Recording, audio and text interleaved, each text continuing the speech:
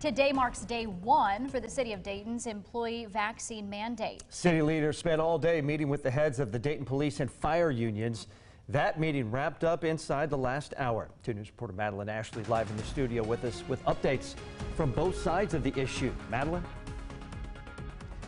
Brooke, John, a meeting between city and union leaders at 9 a.m. in City Hall ended with no resolution. The vaccine mandate, which began today, requires city employees to get vaccinated or be tested weekly. Those who don't comply will be sent home on unpaid leave. Now in effect, the city vaccine mandate, causing mixed emotions between city leaders and workers. Had some fruitful uh, discussion, some positive discussion back and forth.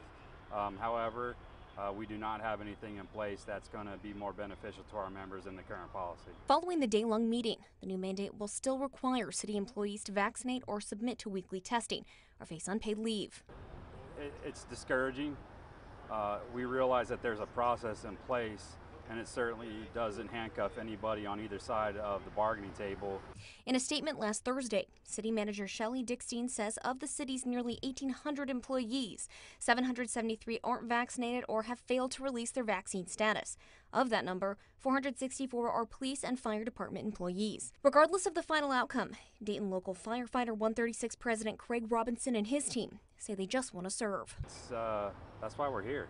That's why we are elected to the executive boards of the respective unions that you see in front of you, and we're here to make sure all of our members are treated fairly.